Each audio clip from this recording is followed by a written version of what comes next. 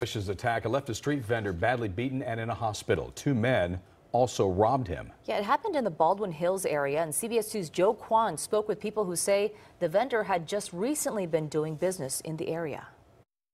I'll see him uh, selling fruit you know, I'm trying to make a living. That man who didn't want to show his face says he saw Margarito Munoz with a fruit cart nearly every day here at the intersection of La Brea and Coliseum. In the afternoon. Alicia Roan lives nearby and says she saw Munoz often. I usually would see him when I'm going home. Locals say Munoz had been selling fruit right here next to this bus stop on Coliseum for the past few months. They say he'd show up around noon and leave following the afternoon commute. Roan's daughter Jaleese says his fruit cart was pretty popular popular. During the week, like everybody at the bus stop will have fruit. Last week, police say the fruit vendor was attacked. Detectives say a man ordered fruit from Munoz, but says the man refused to pay.